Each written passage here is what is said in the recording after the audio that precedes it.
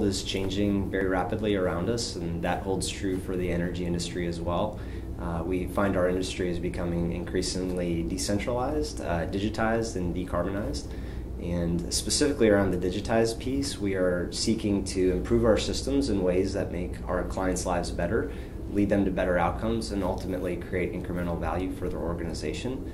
In today's real time world, customers need information at their fingertips, and not the traditional information, but inf- information from connected devices. So, whether it's distributed energy resources like on site solar, to PPAs, to traditional grid supply, and even how are their facilities operating so that they can more uh, uh, artfully and tactfully um, take on energy efficiency and management initiatives.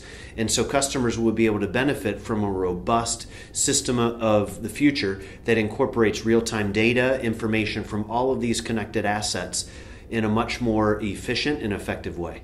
In a world of growing information and data, just simply the management of that information is becoming increasingly complex. The size of the cloud required to host this information, the ability to visualize and anticipate and prescribe what the future holds is going to be key. So, using machine learning, artificial intelligence, and uh, other key traits of the future, this system will be able to anticipate some of those changes and allow Uh, clients and customers to more effectively take advantage of those solutions and how to manage actionable insights into the future.